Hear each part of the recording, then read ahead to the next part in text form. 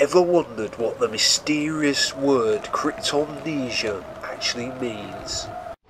Welcome to the Perfection Selection, a Cream of Cards TV.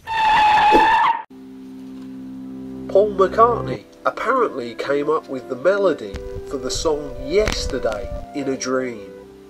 Initially, he was a bit worried that it might have been a case of cryptomnesia, where you unwittingly copy someone else's idea when a forgotten or repressed memory bubbles up from your subconscious mind without you realising where it actually originated from, convincing you that it's your own idea when it's probably just off a commercial from last night.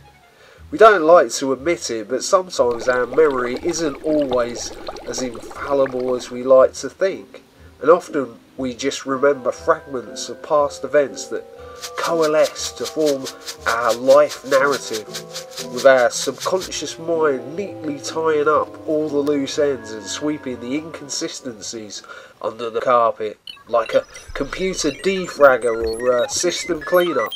Luckily for Paul, he found that yesterday was original after all.